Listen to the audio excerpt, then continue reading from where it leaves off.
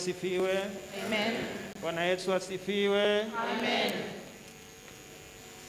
Eh, tunaanza ibada yetu kwa karibuni katika kanisa, mtisikie mkiwa kanisa ya ICC Fellowship. Wale wote wenye wanatutazama katika eh, katika televisheni ama YouTube, karibuni kwa ibada ya leo. Sasa nakaribisha bwana kwaya na wimbo ya kwanza ili tuendelee na ibada. Kanisa tuweze kusimama pamoja.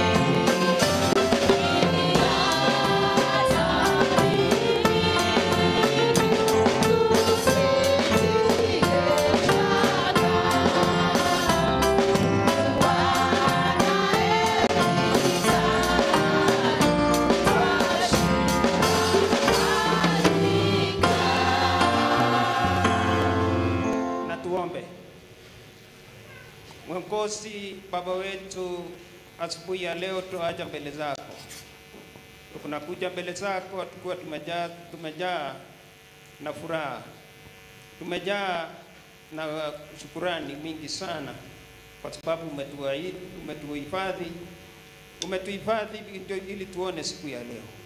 Tunaomba uwe nasi, uanze nasi katika kipindi hiki, uwe nasi katika katikati yake, mpaka ikifika tamadhi, shukurani zije kwako. Tunakushukuru kwa sababu ya familia zetu, kila mmoja aliye hapa ako na kitu ya kushukuru kwa wiki hii. Tunakushukuru Baba, na tunaomba wale wanao changamoto, wanapitia changamoto mbalimbali. Kuna wengine wako mahospitali, kuna wengine hata manyumba zao hakuna amani, kuna wengine baba, baba zetu wako kwa kilio. Tunaomba ya kwamba wafariji, wache karibu nawe, kwa sababu wewe ndio mwokozi wetu. Wewe ndio unajua shida zetu, unajua barabara zetu. tangu tusaliwe mpaka mwisho. Tunakuomba uwe nasi pamoja nasi na wale wengine wote wanaotutazama katika kipindi hiki pati tamati. Kwa jina la Yesu naomba na kuamini. Amen. Nakaribisha wanakwaya kwa wimbo wa pili. Karibuni.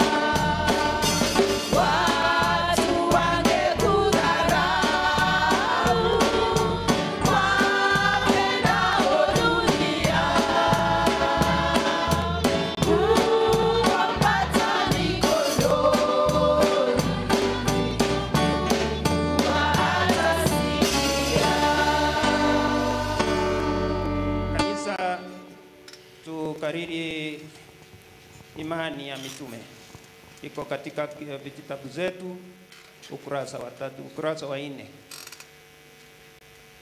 Namwamini Mungu Baba Mwenyezi, muumba wa mbingu na nchi, na Yesu Kristo mwana wake wa pekee, Bwana wetu, aliyechukuliwa mimba kwa uwezo wa Roho Mtakatifu, akazaliwa na Bikira Mariamu, akateswa zamani za Pontio Pilato, akasulubiwa, akafa, akazikwa, akashuka mahali pa wafu, siku ya tatu akafufuka, akapaa mbinguni, ameketi mkono wa kiume wa Mungu Baba Mwenyezi. Kutoka huko atakuja kwa hukumu walio hai na wafu. Na mwamini Roho Mtakatifu, kanisa takatifu lililo moja, ushirika wa takatifu, ondoleo la dhambi, kiama ya mwili na uzima wa milele. Amina. Tuketi, tuketi. Kwaya wimbo ya nakaribisha kwaya ili waimbe wimbo. Kwaya tafadhali, karibu.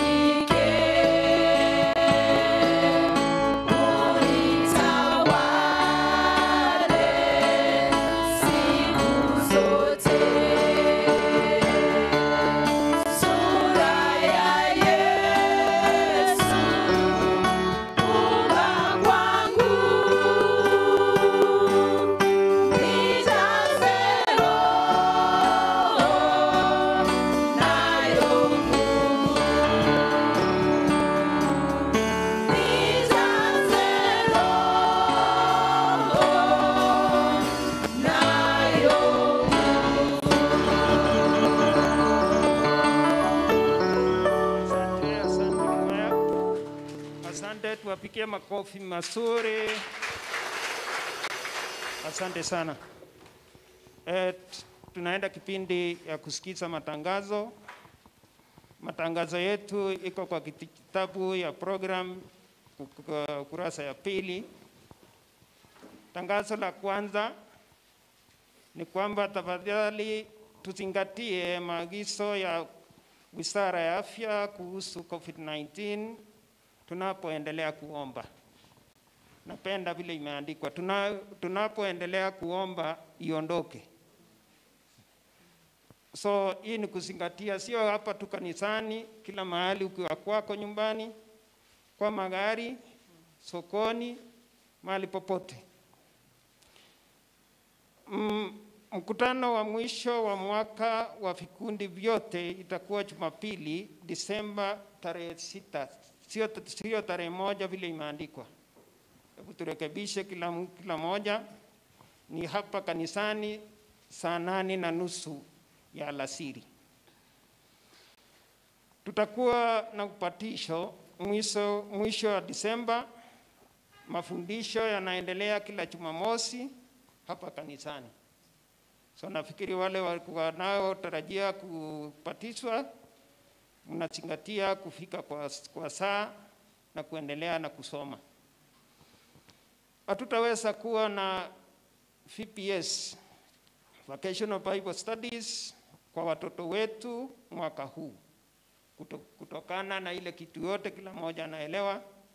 Janga la korona ilikataza watoto wasikusanyike mahali, nafikiri ndio sababu. Jumapili ya kuombea na kuwasaidia wachungaji wetu ni Disemba tarehe kumi na tatu. Haya ndio ma, ma, matangazo kama vilivyoratibiwa siku ya leo. Nataka kitambo nikaribishe eh, kikundi ya kusifu na kuabudu. Niseme ya kwamba sisi tunayoongoza ibada ya leo ni wale prayer group ya, ya, ya prayer group ya Annex East, na tunatakia mema. Aliyekuwa mwongozi wetu wenyu siku ya leo ni, na, ni mimi naitwa Sakias Ngeno. Asanteni sana.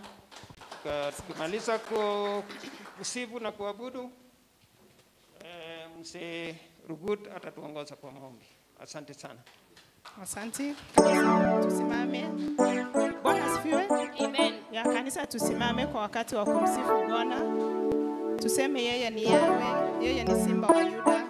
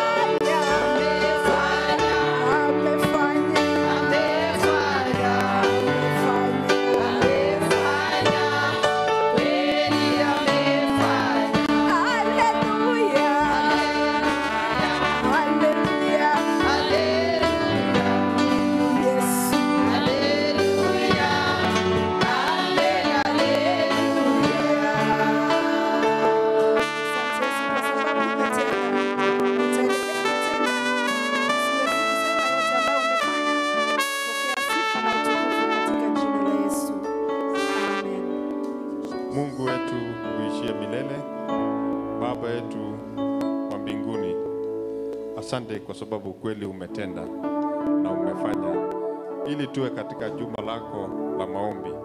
Tukusanyike hapa Mungu, tuweze kukusifu na kusikia neno lako. Tunakushukuru kwa hiyo uwezo, tunakushukuru kwa sababu ya maisha ya kila mmoja wetu. Mungu unatujua hata kwa majina zetu. Asante Bwana kwa sababu ya mapenzi yako kwa wema wako kwetu sisi. Hatuwezi hata kusema neno lolote, hatufai hata kuwa mbele yako, ni kwa sababu Mungu wewe unatupenda mpaka ukatupa uwezo kuitwa watoto wako. Asante Mungu, maana kwa, sa, kwa sasa unatusikia na unapokea maombi yetu, unapokea sifa zetu. Tunakushukuru Mungu kwa yale yote mazuri umetutendea, na tunaomba msamaha Mungu kwa yale tumeenda kando ya mapenzi yako, manake sisi ni watoto wachanga, bali Mungu tunakuhitaji katika maisha yetu, popote tulipo, kazini mwetu, ili Mungu tuweze uweze kutu um, onesha njia mema, njia, njia mema na mambo mema ili tuweze kutenda. Tunakuita asubuhi ya leo Bwana, kwa sababu tunakuhitaji katika maisha yetu. Asante Mungu kwa ajili umetupokea jinsi tulivyo. Eh, mbeleni mwako mchungaji, wachungaji wetu na familia zao. Asante kwa maana Mungu uliwateua waweze kuwa watumishi wako. Wabariki, wazuie Mungu na yale yote ambayo yanaweza dhuru maisha yao, ili Mungu aendelee kukufanyia kazi. Asante kwa waumini wote na familia zao. Mungu tunakushukuru. Tunaomba kwamba Bwana uweze kutulinda na hata magonjwa ambaye yako katika dunia hii, hasa ugonjwa wa COVID. Mungu tunajua unaweza na una uwezo. Mungu tumekukimbilia ili Bwana utuzuie, utufunike na mkono wako wa uponyaji, ili Bwana isiweze kudhuru maisha yetu. Asante kwa ajili ya sehemu hii tunakoishi, tunaona upendo wako. Endelea kutubariki, bariki kaunti yetu, bariki nchi yetu, hata viongozi wetu. Mungu, wape wakati mzuri, ili wasalamiane katika salamu ya upendo na salamu ambayo Mungu yanakupendeza, ili Bwana wakutanishe pamoja, waweze kuongea pamoja na wa, eh, waoneshe eh, jinsi wanavyo watakavyoongoza nchi yetu kwa njia nzuri. Mungu tunawabariki, tunajua kwamba unawajua zaidi, na Bwana tunajua kwamba nchi yetu tuna amani na tuna, tunaomba amani iendelee kudumu, kwa maana Mungu, bila amani hatuwezi hata kupata nafasi ya ku, kukuabudu jinsi tunavyokuabudu kwa sasa. Bwana, utuweke tayari katika uh, nafasi hii ili tuweze kupata kusikia neno lako na tujengeke kiroho. Mtumishi wako umemtayarisha Bwana, mtumie uh, ipasavyo ili Mungu tuweze kubarikiwa mpaka manyumbani mwetu na kukua kiroho kila siku, kila wakati, tukupendeze maishani mwetu. Bwana, tuko tayari kupokea neno lako. Mungu, nyosha um, vinywa vyetu tuiweke tayari ili tuweze kulishwa. Maana haya yote tuomba kwa jina la Yesu aliye mwokozi wetu.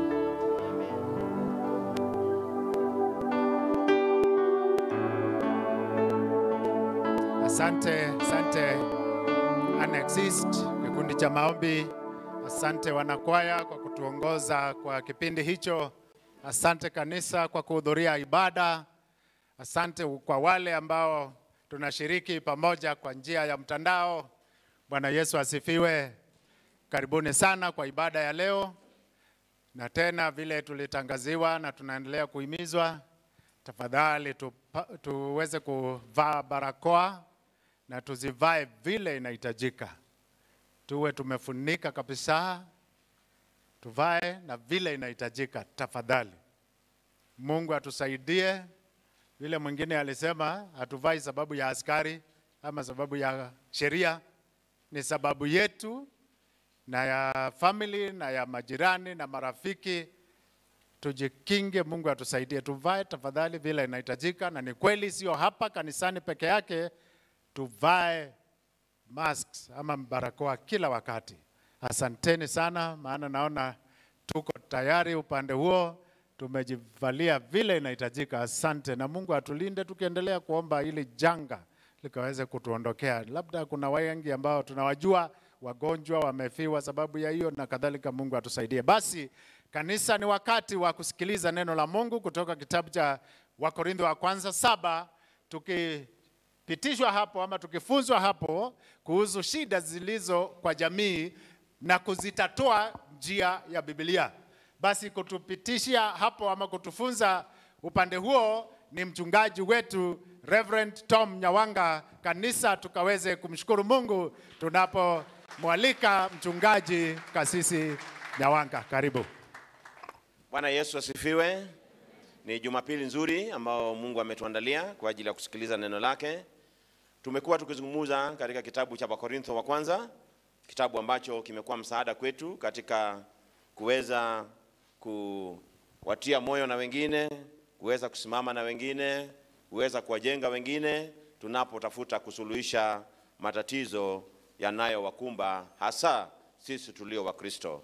Jumapili hii nina furaha kuzungumza na wewe katika Wakorintho wa kwanza, mlango wake ni wa saba, mstari ambao tutasoma ni wa nane hadi kumi na moja, lakini katika mazungumzo yetu tutaguzia sehemu nyingi, maana uh, tutafanya muhtasari wa uh, uh, mstari zote zilizo katika kitabu cha Wakorintho wa kwanza saba, kiini chetu ikiwa ni kusuluhisha tatizo la familia katika kanisa.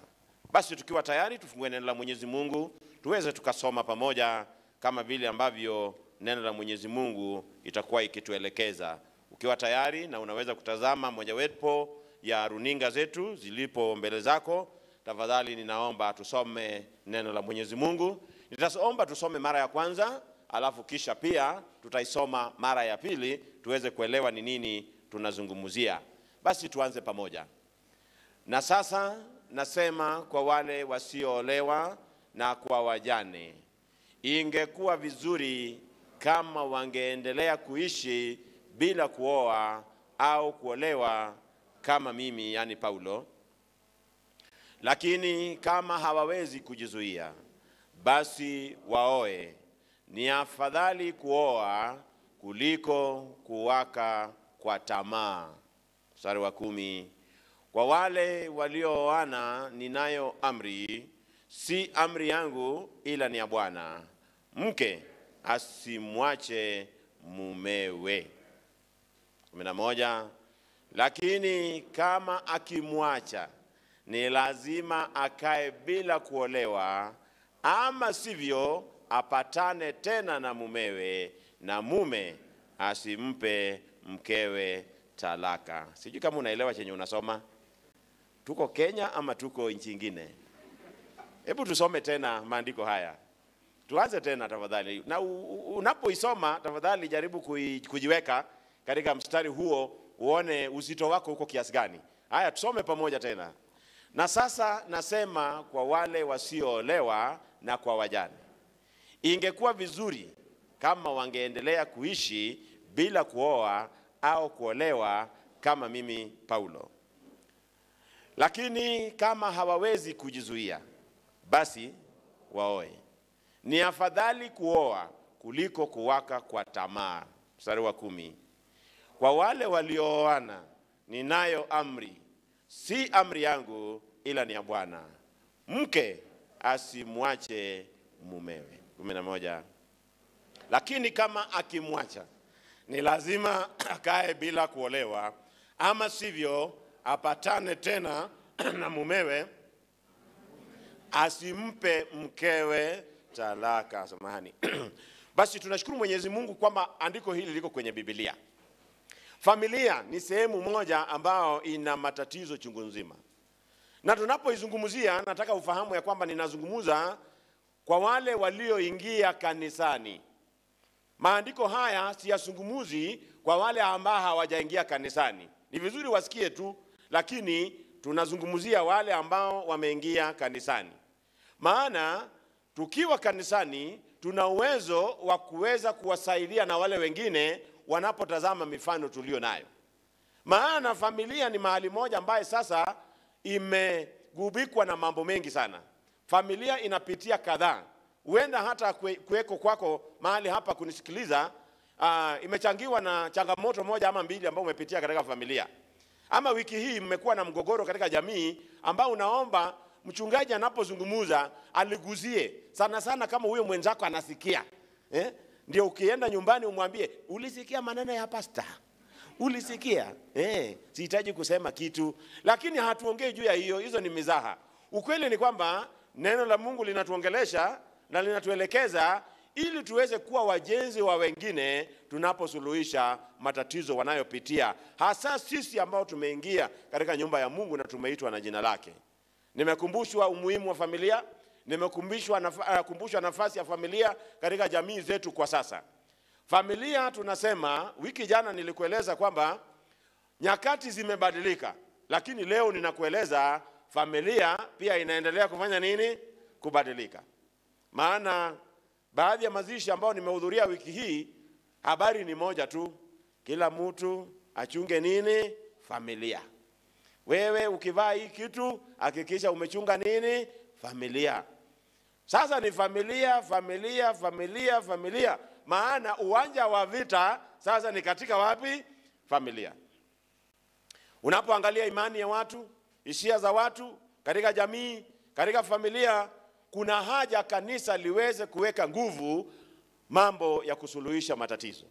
Maana katika familia ndio tutakuta watu ambayo wamechoka moja na mwingine, akaua watoto wake, mwingine akawapa sumu, mwingine akafanya nini, wengine pia kwa mambo, kwa sababu ya kanisa wanawachana na watu zao wakisema, mume wangu ndio shetani, watoto wangu ndio shetani, labda bwana eh, mke wangu ndiye shetani, na hawasomi maandiko yaliyowekwa wazi katika Biblia ya kutusaidia kusuluhisha tatizo tunalopitia.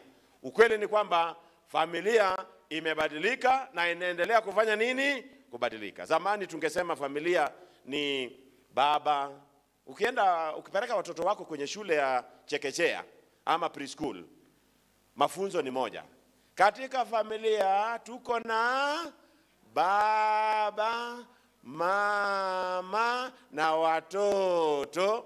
Hawazungumzi maneno Paulo amesema hapa kwamba kuna wamama waja hawajaolewa, kuna wajane. Azungumuzi kwamba kuna manyumba baba hayupo ama mama hayupo. Yeye yeah, anazungumza jumla, sababu akili ya mtoto labda haijafikia kuelewa jambo hilo. Lakini kanisa lina shida ambalo tunahitaji kutatua, ili tukikaa hapa ndani usikie unajengwa maana kuna kutengana. Watu wametengana kwa hatua nyingi, labda wengine wanasema sisi juu hatujaoa hatujaolewa, tunaonewa, labda sisi ni wajane, ah, mambo yetu haizungumzwi kwa nguvu, labda sisi ni vijana, wanazungumza tu familia.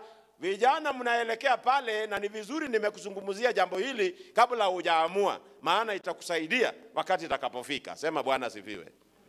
Tunapoangalia maandishi haya ninashangaa kwa sababu nyakati na majira zinaonyesha wale tunaowategemea sasa si tumaini tena.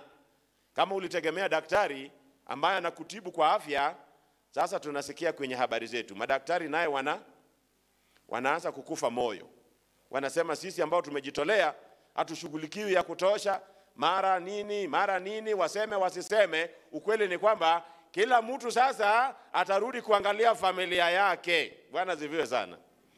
Wale wamejilinda katika familia wanaangalia huku na kule. Kama ulitegemea mwalimu, hata walimu wa shule sasa tunaambiwa kuna mashule kadhaa wamepatikana na uh, virusi haya na wamethibitisha.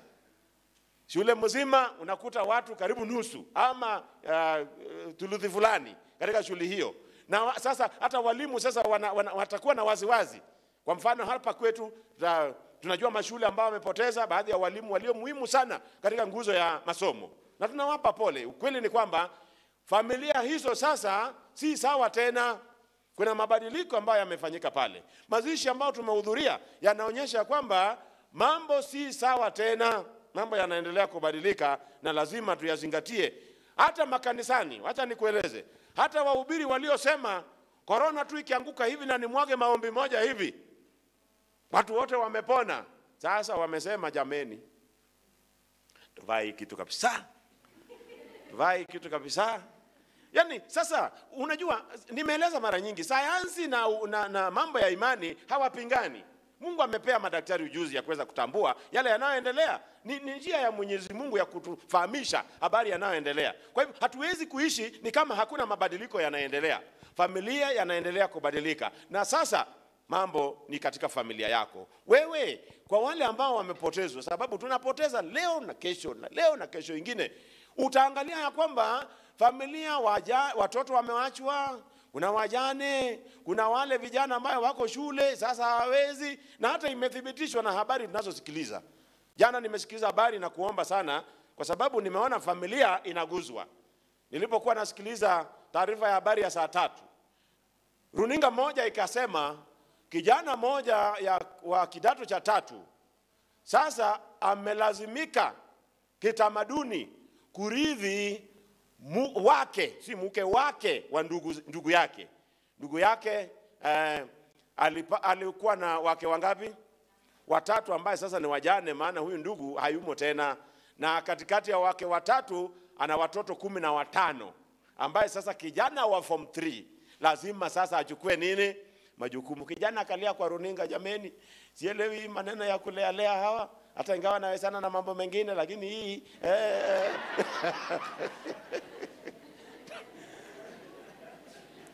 jambo moja nasema, familia inafanya nini? Inabadilika, na lazima tujikakamue Kikristo. Tukiokoa hii nyumba, jameni, ulimwengu itapona. Bwana asifiwe sana. Tukiokoa familia wawili watatu, nina hakika kule nje itakuwa afadhali. Sasa ninafikiria hii mpaka nasema watu walikuwa wanafikiria Wajaluo ndio wanarithi wake. Sasa hii maneno imetokea wapi? Eh, wengine wanarithi wakizungumza kwa sauti kubwa, wengine wanarithi wakizungumza polepole, hawaambii watu, si ndio? Lakini wanaendelea kurithi. Sasa nani afadhali kuliko mwingine? Hakuna, wote wanaonyesha kwamba kuna mabadiliko katika wapi? Katika familia. Usitosheke.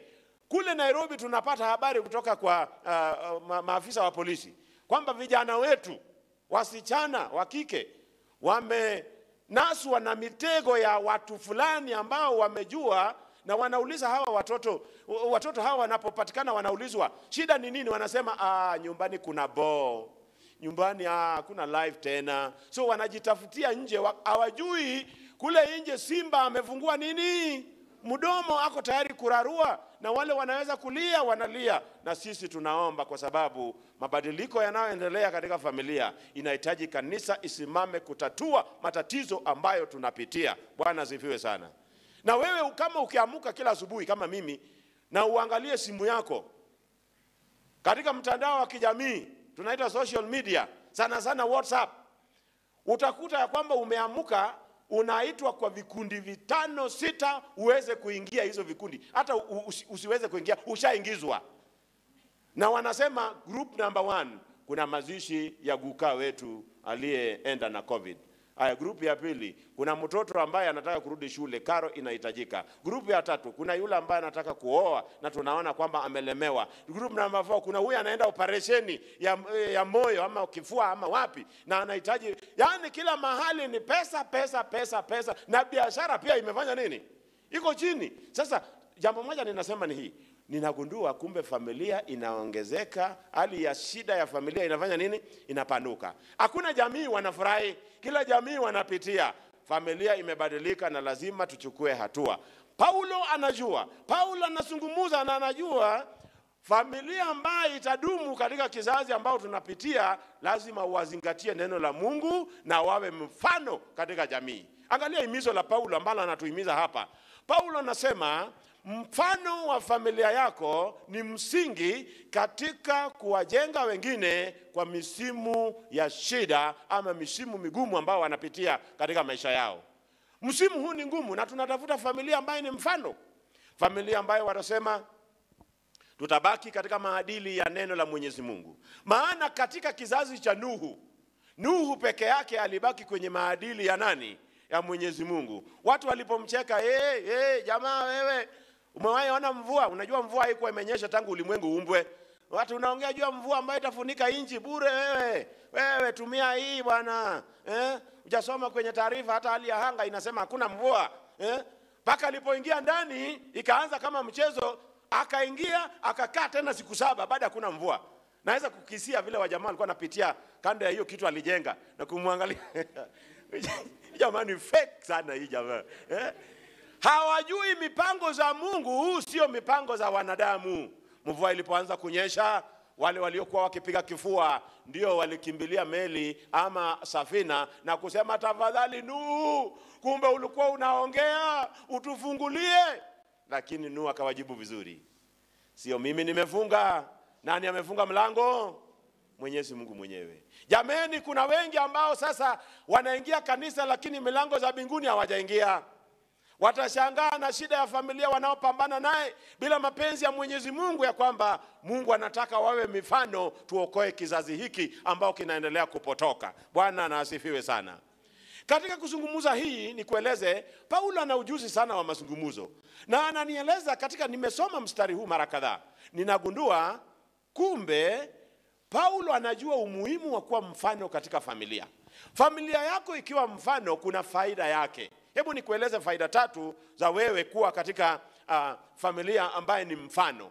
Faida ya kwanza, utagundua ya kwamba familia hiyo ni mahali pa muunganisho, connection. Ni mahali ambapo kila familia ikiwa mfano, unajisikia ya kwamba nimepitia hawa kuingia ulimwenguni. Kila mama, na nimewauliza swali hapa siku nyingine, kwa nini kila mtoto hufuata mama mzazi na baba mzazi, sana sana mama?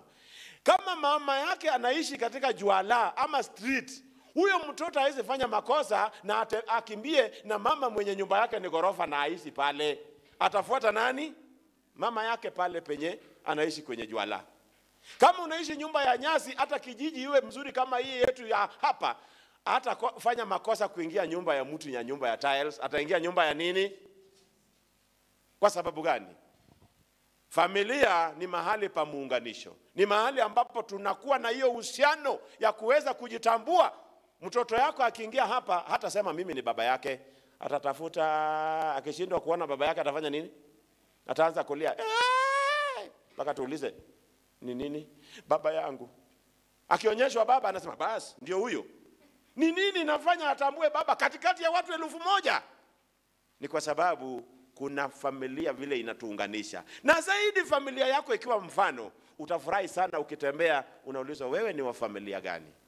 Unasema mimi ni wa familia ya Nyawanga. Oh, Nyawanga alikuwa pasta, alikuwa nini? Yaani kuna kule kuunganika ambaye inakaa bora. Kama wewe ulikuwa mtu ambaye maisha yake si sawa, watu wanasema hmm, ingawa watoto ni wazuri, lakini lakini kwa sababu hali ya kuunganishwa. Namba 2, kama familia yako ni mfano, itakuwa mahali pa mamlaka yetu, yaani mamlaka ya kuonyesha jinsi ambavyo unawalea, unawaleta, unawafundisha, unawapa msingi, yaani una uwezo. Tunasema mtu mzuri maisha yake huzungumuza, maisha yake akieleza jambo. Kwa mfano, kama mimi ni mwizi, siwezi simama kwa mkutano ambaye naongelesha watu na kusema musiibe kwa sababu wanajua mimi ni nani? Ni mwizi. Kama mimi ni msherati, siwezi simama kwa mkutano ama annex center na kusema jameni, tuachane na hii maneno. Wamama watatu watakung'ang'ania, siweni wetu eh. siweni wetu. Mfano inakupea mamlaka. Bwana asifiwe sana. Kama utoi fungu la kumi, huwezi simama kanisa na kusema naomba fungu la kumi tutoe. Watu watakuuliza lete vitabu lete, wacha kupiga mdomo. Wakiangalia kitabu na, na kweli nililipa na kukuja hapa na onyesha. Yaani inasema kitu moja, ukiwa na wewe ni mfano, una mamlaka kwa yale ambayo unasema. Bwana ziviwe sana. Ukieleza watoto usikunywe pombe, wanajaribu kuchunguza wewe maisha ya baba. Kama wanahisia kwamba ulikuwa unakunywa, watakushangaza. Mm, nimesema tusikunywe.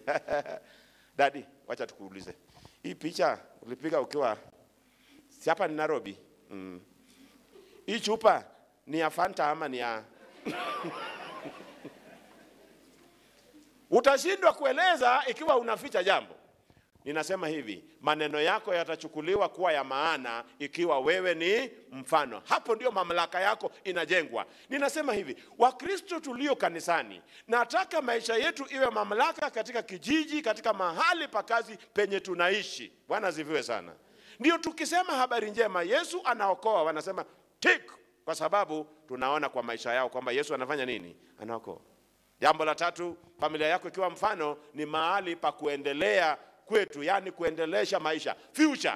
Unapoangalia mbele na kuangalia nyuma, unasema kweli Mungu ana nini? Ana mpango, badala ya kuweka tu kwa, kwa simu yako. Mungu, najua haujanisahau, najua una mipango. Aa, mipango yaonekane kwa jinsi ambavyo mwelekeo ya familia inatembea. Bwana ziviwe sana. Tunapoangalia mambo haya, Paulo anajua na anaeleza katika mlango wa saba wa Wakorintho ambao tumesoma. Hebu tuangalie ni jinsi gani Paulo anatumia mambo haya yaliyo muhimu katika mifano yetu kutusaidia kusuluhisha shida ya familia. Paulo anasema katika mlango wa saba wa Wakorintho wa kwanza mstari wa nane anataja jambo hapo ambalo tumesikia sisi wote. Anaanza kwa kuzungumuza, anasema kwa nyinyi ambao hamujaoa, kwa nyinyi ambao mumeoa, kwa nyinyi mlio wajane na wale wengine, ninaeleza jambo na mambo ambayo anaeleza lazima tuyafahamu. Mstari wa nane, tafadhali tusome pamoja mstari huo, tunapoangalia maneno ambayo Paulo anatueleza, tunapozingatia jinsi ambavyo tutasuluhisha matatizo katika familia yetu. Na sasa nasema kwa wale wasioolewa, hiyo ni kundi la kwanza, na kwa wajane, kundi la pili. Alafu mstari ambao ni wa kumi anaongea juu ya kundi lingine. Anasema nini katika mstari wa kumi? Anasema na kwa wale ambao sasa wamefanywa nini, waliooana kuna vikundi vitatu ambayo yatatusaidia kuona kuunganishwa kwetu katika kanisa. Hebu turudi katika yale ninaeleza na tuseme, njia ya kwanza, Paulo anatusaidia kusuluhisha shida ya familia katika Biblia. Anataka tuelewe muunganisho wetu, kuunganishwa kwetu kama watu wa Mwenyezi Mungu.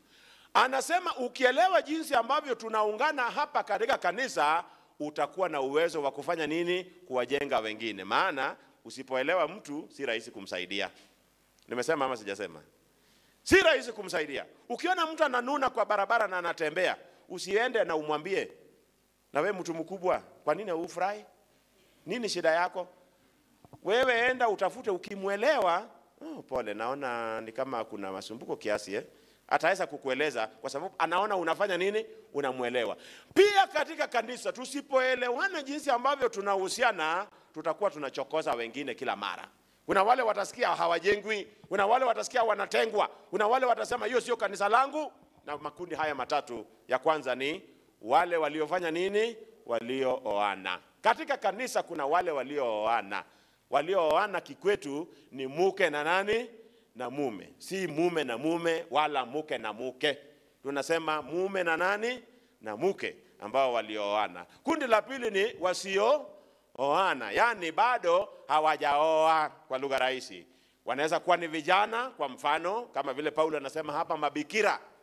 Bikira ni wale ambao kibibilia hawajaguzwa kisayansi ki, ki, ki, ki na kimatibabu inaweza kuwa na maana tofauti, lakini kibibilia ni wale hawajaguzwa, yaani wale bado wanatembea wakingojea Mungu awape njia zao. Lakini kwa kati ya hawa tunaweza ongeza kwa nyakati zetu, kwa sababu wakati wa Paulo haikuweko wale ambao hawajaolewa uh, hawajaoana na wako na watoto. Kwa ulimwengu wa Paulo hakukuwa na kitu kama hiyo, lakini kwa ulimwengu wetu sasa tunaweza ongeza wasiooana lakini wako na nani na watoto, sababu wako katika kijiji, vijiji vyetu na wako kanisani. Kundi la tatu ni wale walio nini, wajane. Yaani wajane ni wale ambao kwa wakati mmoja waliishi na mume ama aliishi na mke, lakini mwenzake akafanya nini, akamwondokea kwa njia ya kifo. Hawa ndio tunaita wajane, lakini tunaongeza kwa ulimwengu ya sasa ya kwamba kuna wale tunaita kwa utani wajane wa wale wanaoishi Eh? Yaani mama anakaa ni kama mume wake hayupo, lakini bwana yuko tu. Tunaita wajane wa wale wanaofanya nini? Wanaoishi. Eh. Mayatima wa wale wanaoishi. Yaani baba tu ni nadra, hapatikani. Na macha nikusaidie, nimeeleza na ninarudia, ikiwa umezoea kutokuwa nyumbani, unagharamia elimu ya watoto wako na mke wako, kama wewe ni mwanaume, waweze kujifunza kuishi bila nani? bila wewe. Ndio siku ile sasa, kwa mfano, utakapo retire wewe umekuwa mzee wa Eldoret ama mama wa Eldoret, alafu mama alibaki huko Chevalungu ama, ama, ama Nyaugenya ama wapi, taja ulimwengu mali unatoka. Siku ile utarudi sasa, unaanza kutoa amri, unanguruma kwa nyumba nimekuja, eh, nataka tufanye hivi. Huyu mama na watoto wake wamezoea kufanya uamuzi miaka ishirini. Siku zile ulikuwa wapi? Kule mjini. Sasa hata wanashangaa na hizo amri zako. Nikamwambia baba, you are in the wrong place. Hiyo ni shida ya wale wako retirement. Sasa nawaeleza kama huko town unafanya kazi, tafadhali tembeleaga nyumbani mara kwa mara kwa mara. Bure utakuta kraoni imevaliwa na mwingine. Mzee akisema watoto wote wanakuja kuuliza mama, tufanye ama tusifanye? na utakasirika bure na sababu hiyo bure yako ni uligharamia elimu ya watoto wazoee kukaa bila nani. Sana sana sisi ambao bado tunalea watoto wa shule, tafadhali, wale wamekuwa wazima watajali, watasema ah, hizo ni mbwembwe za wachana na wazazi wako na mambo yao. Lakini wale bado wadogo watataka kutii, watatii nani? Tunasema tafadhali, usifanye watu wako waishi kama wajane na mayatima, na wewe ugali uko hiyo ni makosa, na Paulo anaeleza hiyo. Wako kanisani pia, lazima tuwafanye nini? Tuwasaidie. Lakini ni kuingiza hapo kidogo na nieleze kati ya waliooana kulingana na mstari kumi na kumi na moja anasema kuna viwango. Kiwango cha kwanza ya wale ambao wameoana ni wale wanaishi na wake zao. Kuna wale wameoana na wanaishi pamoja, na kati ya wale wanaishi pamoja anaendelea na kiwango kingine, anasema kuna wale wanaishi wakiwa wote wameamini ama wameokoka na mmoja hajafanya nini hajaokoka ametaja hiyo pia hapa. Na hizo viwango zote ziko wapi? Hapa kanisani. Ndio unaona wengine wanakuja hapa kanisani ukiitisha mkutano na mkutano ipite hiyo saa ilikubalika anakuambia pasta tafadhali tafadhali tafadhali tafadhali. Hiyo mtu ni simba Sababu gani? Anaishi na mtu hajafanya nini? Hajaokoka na hamwelewi, na sisi pia hatuelewi. Tunahubiri na kukemea, na ninapoanza kuhubiri sitaki mtu akanyage nje, milango zifungwe, tutakaa hapa mpaka nimalize. Haki wewe si mhubiri. Haujaelewa matatizo ya watu wako. Mimi huwa naeleza watu, hata nikifundisha kwa shule za Biblia, naeleza watu, kama unajisikia kulala, we lala.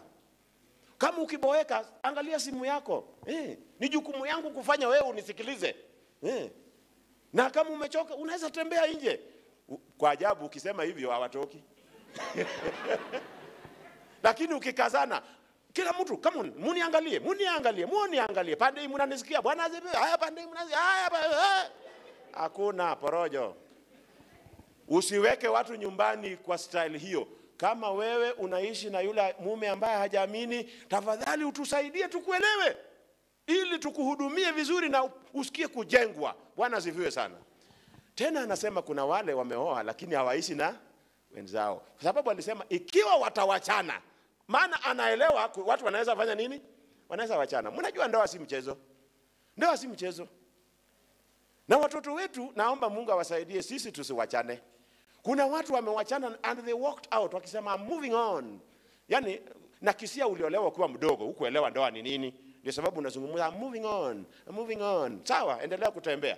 Utakutana na wengine mbele. Ukweli ni hii. Unapokaa kama nyinyi mumetengana, Paulo anasema kuna aina mbili. Kuna wale wanakaa hivyo wamepatana na kuna wale wanakaa hawajafanya nini? Hawajapatana. Sasa yeye anasema hivi kwa ushauri. Kama mujapatana, nendeni mkafanye nini? Mkapatane, yani mwelewane. Na kama hamutaki kuelewana, shauri langu ni hii, kaa vile ulivyo mpaka mwenzako afanye nini? Afariki. Tulisoma hatukusoma? Na hiyo si ujumbe ya, ya, ya kawaida ya ile tunaita popular message ya watu wengi. Hii ni ujumbe ya wale wanataka kusuluhisha shida katika kanisa. Kama uliwachwa ama uliwacha, wewe eleza tu mchungaji, mchungaji, unaniona kanisani, nimejitolea, nimeamua, niliwachana na mume wangu na sitaolewa. Nitakuelewa. Bwana sifiwe sana. Usiniambie tuliwachana na mume wangu na niko vile nilivyo, lakini hata juzi nimebarikiwa eh? Ulibarikiwa namna gani? Si unisaidie nikuelewe eh. Sababu umesema amuko pamoja, kweli ama si kweli eh? Naongea na wale walio ndani ya kanisa, wale walio nje sina sheria juu yao, kwa hiyo kwa sababu wanafanya vile wanata, wanataka. Paulo anaeleza vikundi kama hiyo, tafadhali. Grupu ya tatu ni wajane, anasema kuna wale wamewachwa, na wahimiza wasiolewe, wabaki kwa sababu ya matatizo yaliyopo, lakini wakiolewa tena, ikiwa mwili inawaka, kwa sababu amesema afadhali kuolewa kuliko kuwaka nini. Mimi nawauliza, kama mtu akioa, tumefanyia harusi hapa, baada ya miezi miwili mume wake ama mke wake anafariki, tumfanyie nini? Tuambie shikilia katika Bwana, tutakuombea. Ah, ah, Paulo anasema natambua hali kama hiyo, tafadhali kuliko kuwaka tamaa, fanya nini?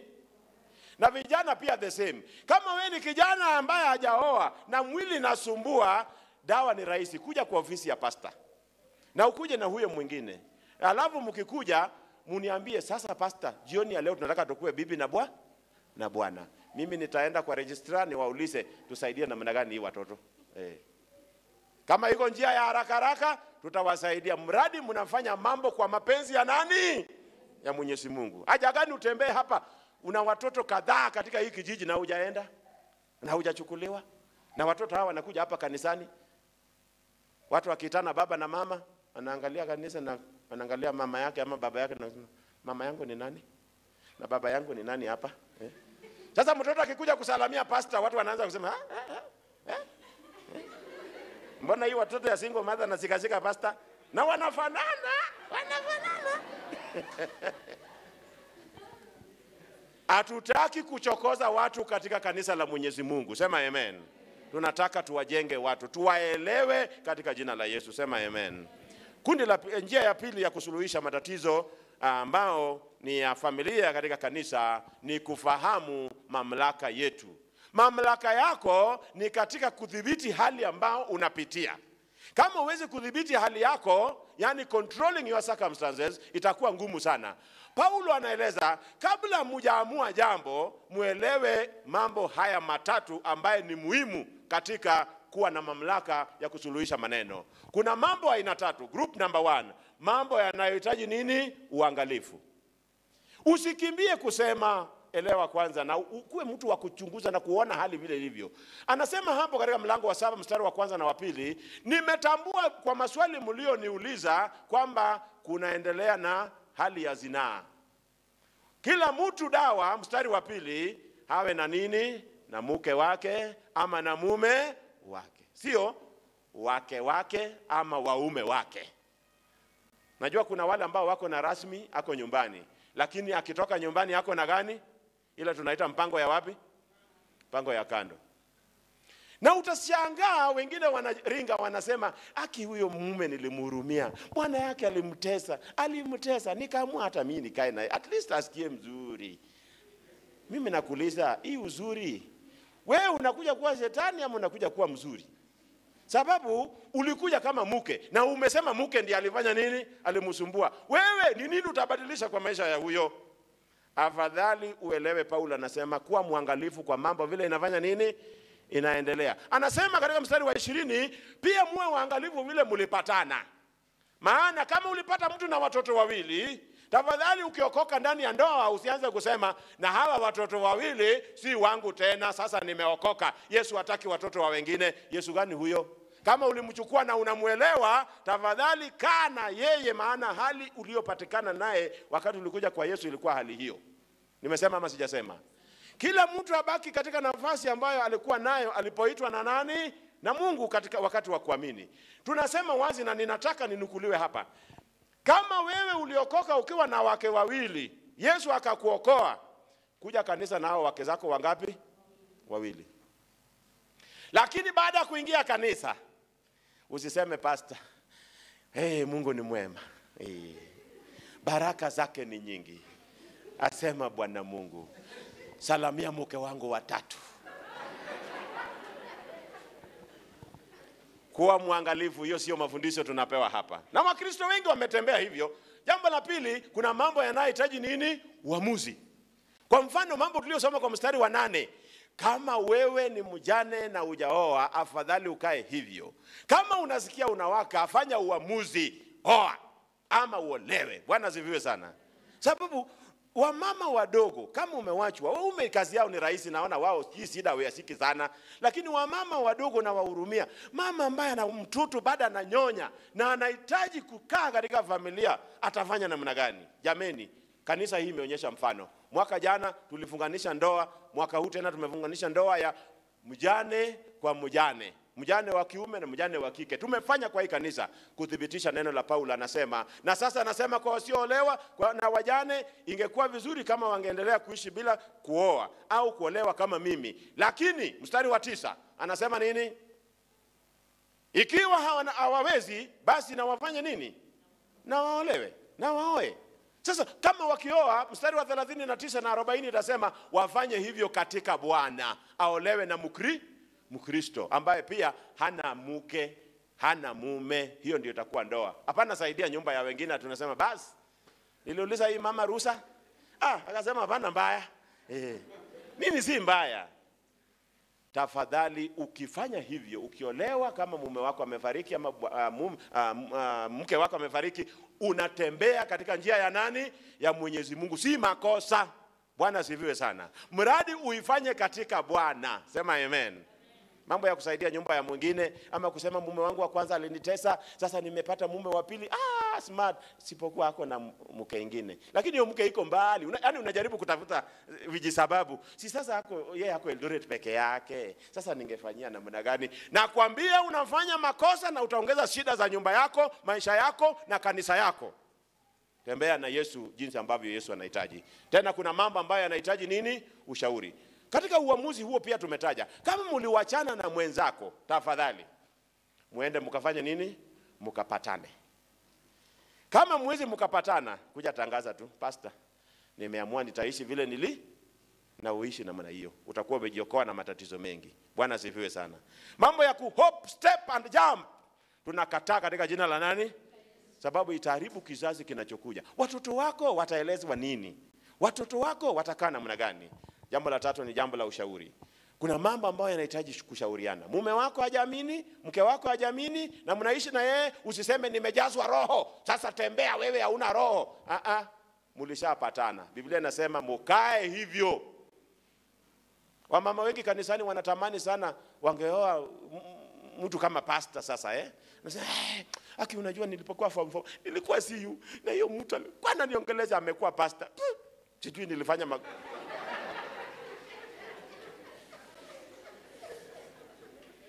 Yaliyopita si ndwele tukange ya nini? Unaona hiyo president hiyo, aki kabisa tulikuwa naye kwa darasa, aki angeni bahati tu kabisa nichukue, ate- akuchukua wewe, kubali tu kweli, ilishakuwa. Kuna mambo yanahitaji nini? Ushauri, unahitaji kushauriwa. Jambo lingine hapa nataja ni wajane, na nimetaja hiyo.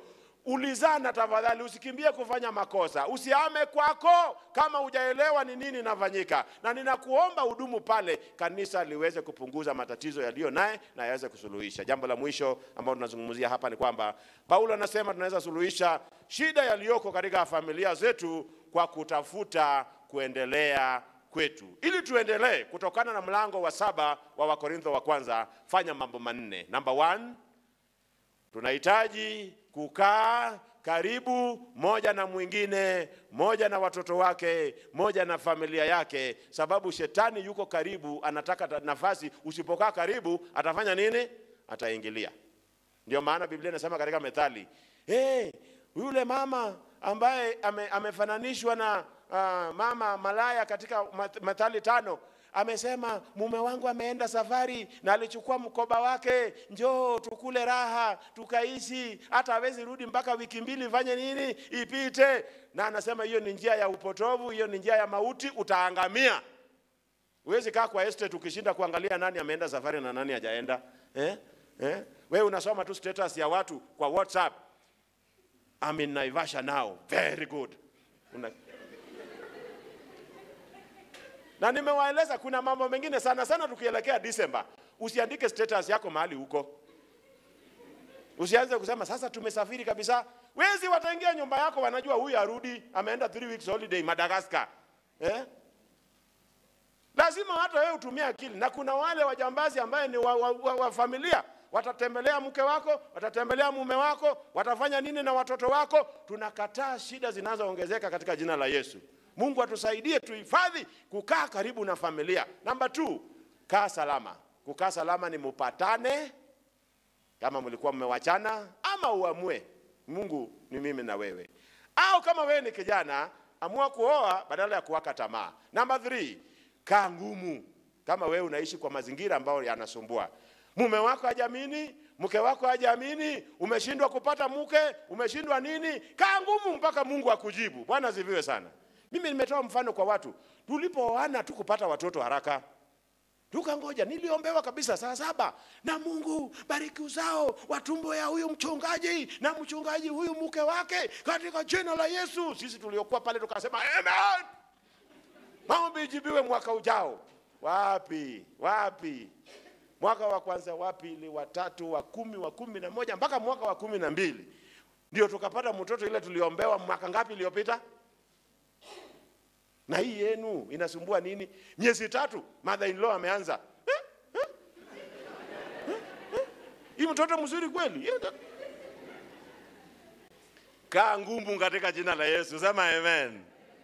Tena kaa macho, kwa sababu ulimwengu ina mambo mengi, tunapitia mambo tofauti. Kaa macho, shetani uzunguka, shetani utembea. Vijana usiharibu maisha yako, wamama usiharibu maisha yako. Kaa macho, epukana na dhambi, usiongeze shida katika nyumba yako. Kaa kwa hali ambayo itakusaidia. Kama wewe una madhara uliofanya, wewe ambia Mungu, Mungu unisaidie, Mungu unielekeze, kwa sababu tunahitaji watu waliojitolea kusuluhisha matatizo ya nini, ya familia. Sababu gani tunafanya hivyo? Shetani asipate nafasi kwa kanisa la Mungu, maana kanisa linatafuta watu wasio na karakta, Watu wameweka pesa zao kwa vitu mingi, lakini tabia ndio hawana. Tabia nzuri hutoka kwa nani? Kwa Mwenyezi Mungu. Tabia mzuri ni ya Bwana na yeye ndiye atatusaidia. Tena utajenga wengine. Mimi sijajua, lakini kuna watu wananiambia tukitembea hivi hata annex, hata town, pastor, ile ushuhuda ulitoa ya familia yako ilinijenga namna gani? Nimepitia, nimepitia, lakini ninapokumbuka vile unasemaga, hiyo inaniinua. Kaa macho, kuna wale wanaendelea kushinda wewe ambao unaendelea kushindwa, wewe tafuta wale wamekaa mifano. Ndio Paulo akasema mifano ya familia yako itaweza kujenga na watu wengi. Pambana wewe kuwa hasla na mali yako, lakini Mungu atakuinua siku moja. Utasema familia yetu tuliokota, tulifanya nini, lakini Mungu alifanya nini? Alituinua. Katika jina la Yesu nataka uombe. Yesu kwako ni rafiki, yeye hujua haja zetu, yeye hutuwezesha. Tunapoimba wimbo huo, tarisha moyo wako, mwambie Bwana, nataka unisaidie, uniinue na unibariki, sababu Yesu ndiye rafiki yangu wa karibu. Yeye ndiye atanisaidia, yeye ndiye atanibariki.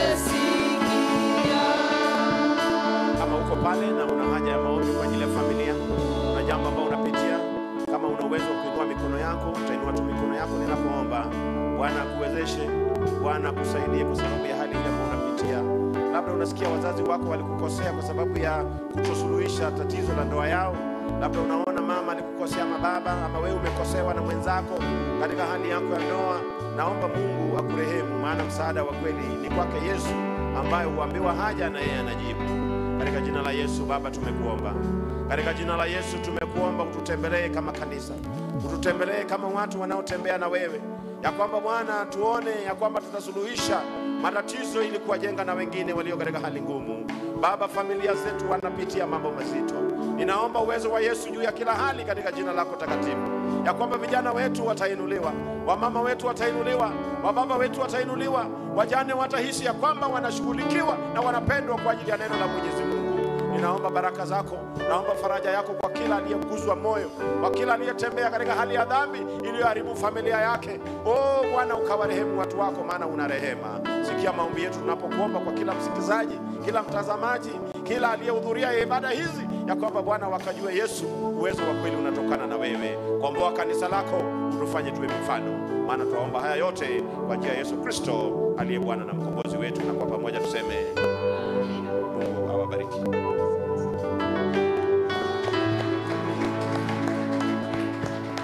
Asante, asante Reverend Nyawanga, asante kanisa, asante kwa wale walio kwa mtandao. Tunashukuru Mungu, tumefikia mwisho wa ibada ya siku ya leo, ibada ya tatu hapa AIC Fellowship Annex Eldoret, na tunaomba ili Mungu awabariki, atubariki zote, akitusaidia kutatua shida za jamii zetu. Basi ni wakati wa kumalizia ibada kwa maombi. Tunapotoka ndio tutatoa sadaka zetu. Milangoni kuna ashas ambao wanatungojea pale, utatoa sadaka ukitoka, na ikiwa unapenda ama unaona ni vyema kutoa kwa paybill, paybill namba ni 49 6 6 9 5 4 9 6 6 9 5. Tukaweze kusimama tafadhali. Tuombe.